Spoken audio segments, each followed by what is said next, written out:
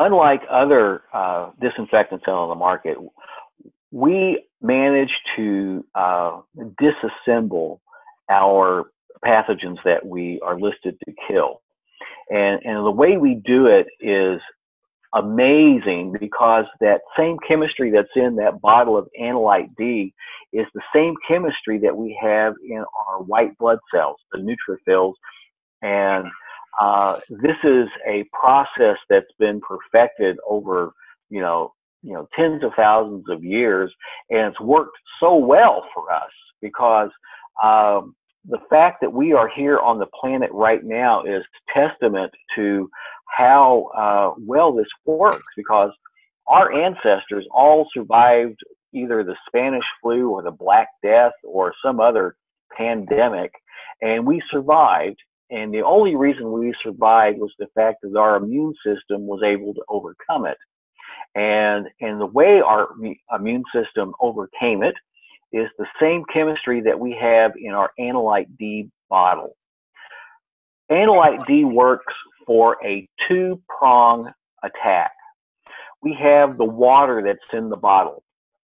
Uh, this is not just ordinary water. This is highly oxygenated water.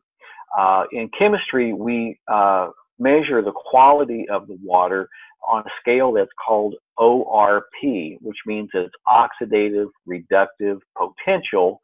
And the simple uh, explanation of that is how many electrons is this water going to pull out of something?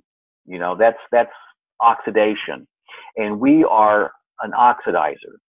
So the World Health Organization says that if you have an ORP of 650, you can call that water sterile, which means that there's no living organisms in it.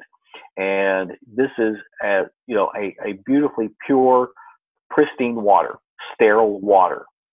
The water that's in our Anolyte D product is greater than 900. And, you know, I think when it comes out of the machine, I've registered at 950 and after it sits for about a week, it's about a thousand. So I mean, be on the safe side. We're going to say it's greater than 900.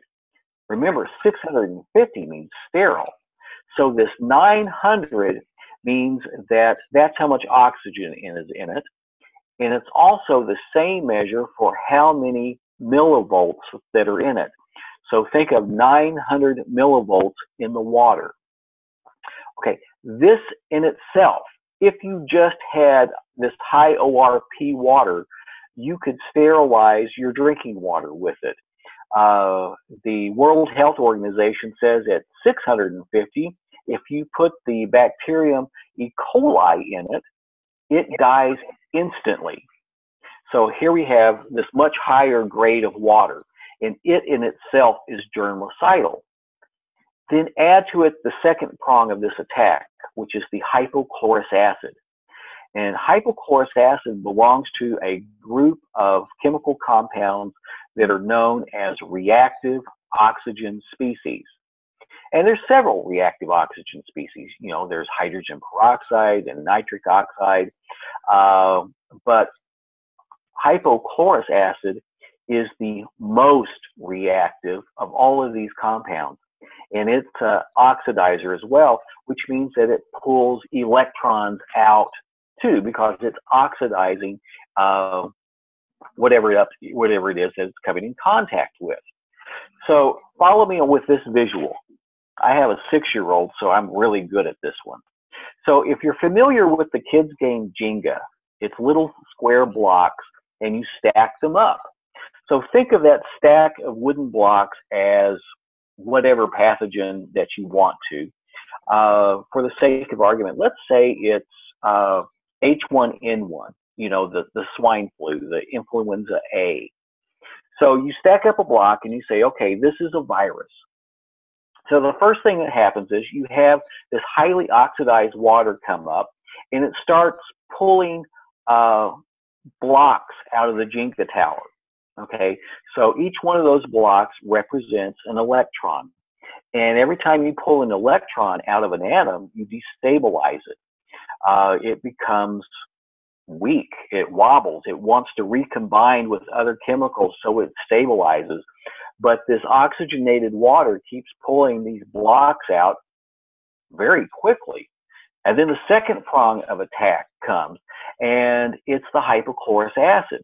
So the hypochlorous acid looks at this Jenga tower with this bunch of blocks already out, and this hypochlorous acid immediately turns into a raging six-year-old that comes over and just smashes it and blows it all away. I have a six-year-old. And that's exactly what happens. That's oxidation. And we oxidize things so completely that uh, you can never reconstitute that organism back into that same organism no better than you could reconstitute a log that has burnt to ash in a fireplace. You could try all day with all the skills and all the money that you could muster, but that cup of ash is never going to turn into a log. And what we end up with when we finish oxidizing our pathogen is essentially cellular ash. We have reduced the compounds and the atoms, the molecules uh, that make up that virus or that pathogen into their simplest, most stable components, and that's all there is. There's no uh, nuclear material. You cannot. There's no DNA to replicate. There's no RNA to reassemble the proteins. There's no cell wall. There's nothing left.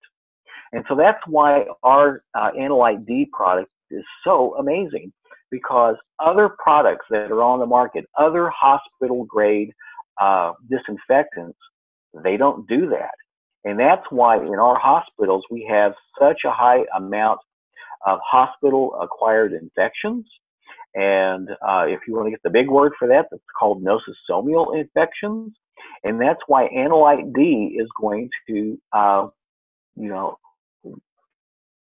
well, I'm going to go ahead and say it. That's that's how Anolyte D is going to fix that problem, because when you expose any bacteria or virus to our product, uh, it turns into cellular ash.